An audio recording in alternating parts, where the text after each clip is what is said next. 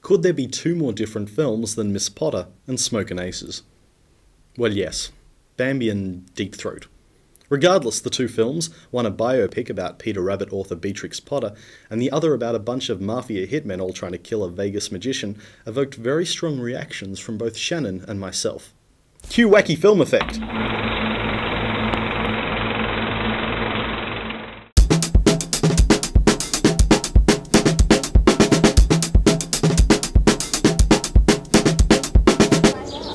Well, that was pointless. Yeah. So, what do you think of uh, Miss Potter? Miss Potter. Well, I hate to uh, be a spoil sport, but I have been forever now anyway. I really thought it was a quite a pleasant, nice movie. Really? I really kind of, I just thought it was pleasant and nice and sweet. I did not think you would think that. I fell for it, kind of. Yeah? Yeah, I really did. I just, I was, I mean, it wasn't anything, you know, fantastic over the top or anything like that, but it was just a very pleasant movie.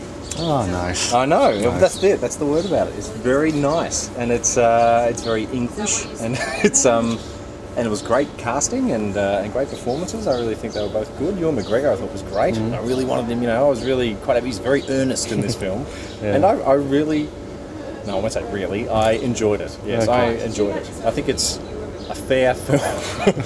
yeah. Well, I thought it was a complete pile of enjoyable. But no, no, I did enjoy it. Yeah. I did like it. I totally agree with you about Ewan McGregor. I think that this film, along with most films, get like ten times better when he appears on screen. Absolutely right. Yeah. Um, yeah. I was expecting something really pitiful, like really bad. Maybe that's why I enjoyed it. Yeah. um, to a certain degree, because I was expecting something. Oh, it's going to be rubbish. It really is going to be bad. Just like Beatrix Yes. Potter's Diary, sort of thing. yeah, but uh, yeah, I really was surprised. I really, really enjoyed it. Well, no, I'm not gonna. I can't go down that road because I didn't No. really, really enjoy it. I just, I thought it was quite nice and pleasant. And from the sublime to the ridiculous, Yeah. Smokin' Aces.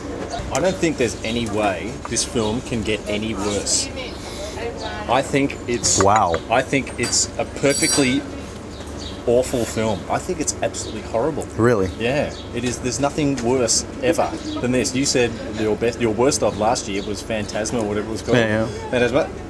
I think You're got a new kidding winner. me. I think this is absolute. You can't was- hate it that much. This was just offensively bad. This was so bad. Nothing. There was no redeeming quality about this. There was no worth. It was worthless. There was no worth to it. You didn't like Jeremy Piven? No, No? just terrible. I thought he was funny. it. Oh my god! So the one thing that I did quite enjoy was Joel Edgerton's reveal. I had no idea that was him. It Took me a while to pick him. That was He's yeah, great, took over this. Oh my god, that was weird. That was really. I didn't think that was. I didn't realize he was in that film at all. Yeah. But, um, oh man, no, I hated it. I hated this film. There's nothing. Wow. No one will. This film's made for nobody. This. Oh, no you one will enjoy this film. No, if I was a 14 year old boy, I would. I would still hate it. I think no. I still am a think I think it's 14-year-old boys who love Tarantino and have just eaten a packet of sugar. That's the audience for this film. I don't think anybody will enjoy it, even those kids. I wasn't crazy about it, but I certainly didn't react that strongly There's to it. no It was- one sympathetic.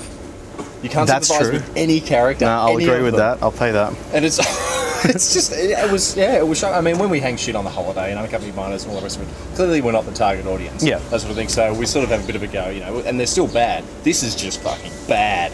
This is just bad. And you are the target audience. Yes, I probably am the target. Yeah, target no, I think you yeah, are. This is oh man, I really, really. Can you tell? I really. I can yeah. sort of tell. I uh, uh, the big reveal, you know, the big twist, rather, the big twist in this film. Um, I picked the moment it was set up in the first five minutes. Do you know what I'm talking about?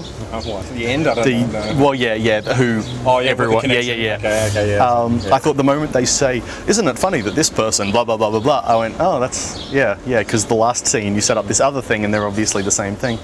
Uh, was that was way too obvious? I felt. I don't get the title, Smoking Aces. Apart from like him doing. No, no, no. His name, his his nickname is Aces, and they're all smoking him, like killing him. Ah, Yeah, that's that's fucking that's that's ankle deep. That one. it's Yeah. genius. Jason Bateman, I will give a shout out to Jason Bateman. That He was, was good casting. He was very good. Love he him. Was good. Yeah, okay, yeah. It's not with, totally without worth. There is Yeah. Jason Bateman. I couldn't understand what the fuck was going on anyway. No, it was yeah, it was really convoluted, Yeah. and I think There's so much Yeah. going on with the mafia families and different people. Oh no, it's just I think with the plot they want to confuse you. I think that no, I no, I honestly think yeah, because I don't think you're right. It's not an incredibly original plot, and once they all converge on the hotel, there's nothing incredibly original going on. It's just them all trying to get at this guy, Hmm. and so I think by talking really quickly over the plot and this guy, this guy, this guy, this guy, you're meant to be confused and like, trying to catch up because in reality it's really quite a straightforward plot. I'm not giving him that much credit.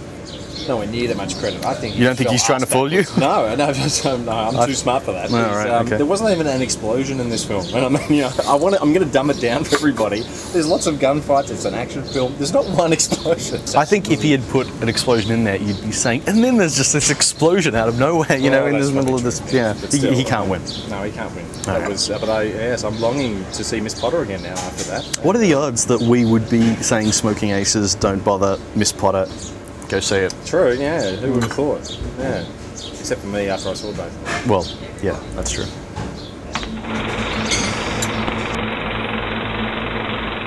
And that's all the time we have for you this week. Just kidding. On next week's show, we clumsily separate the fact white from the fiction yolk as we look at true stories, Hollywood style. We speak to possibly the most prolific screenwriter in Australian cinema history. And both view and review Will Ferrell in Stranger Than Fiction. Remember to stop by the Bazura Project website for previous episodes, audience polls, and cheeky Molotov cocktail recipes. And just a reminder that we'll be appearing at Chadstone Shopping Centre this Saturday from midday. So please don't call attention to us because we'll be shoplifting. So until next week, Sign off, catchphrase.